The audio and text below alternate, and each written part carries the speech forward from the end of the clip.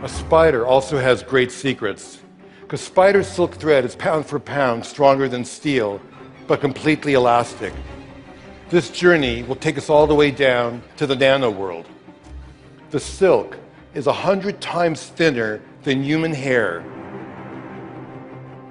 On there is bacteria, and near that bacteria, 10 times smaller, a virus. Inside of that, 10 times smaller, three strands of DNA. And nearing the limit of our most powerful microscopes, single carbon atoms. With the tip of a powerful microscope, we can actually move atoms and begin to create amazing nano devices. Some could one day patrol our body for all kinds of diseases and clean out clogged arteries along the way.